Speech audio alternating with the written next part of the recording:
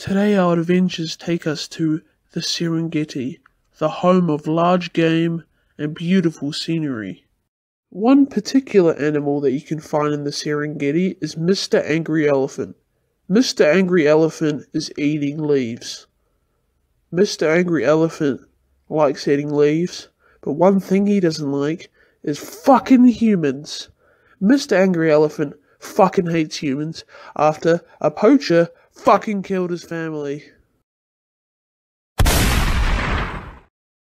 Since Mr. Angry Elephant no longer has any family, all he can do is sit and eat leaves, which is really fucking boring. While he's eating the leaves, he's thinking about how his family's dead, and it's all because of humans, and he keeps thinking of how he really fucking hates humans. So one day, Mr. Angry Elephant decides, hey, I'm gonna go fucking kill some humans. And that's exactly what Mr. Angry Elephant does.